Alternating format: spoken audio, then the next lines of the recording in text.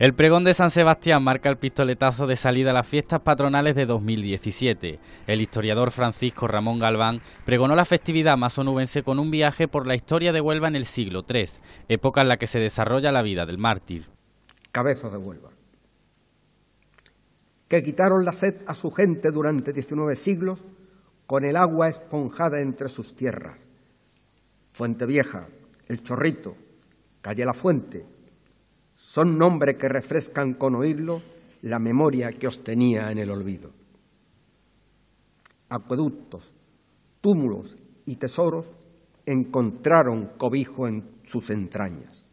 El pregonero, profesor de historia y hermano de los estudiantes desde hace 57 años, abordó la figura de San Sebastián como mártir y con un ejemplo y mensaje todavía vigente en los tiempos donde muchas personas mueren a causa de sus creencias religiosas.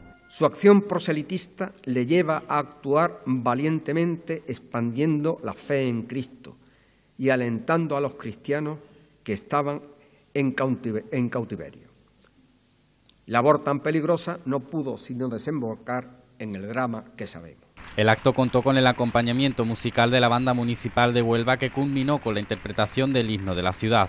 Así, se da paso a las fiestas patronales que comienzan el próximo jueves con las primeras actuaciones musicales.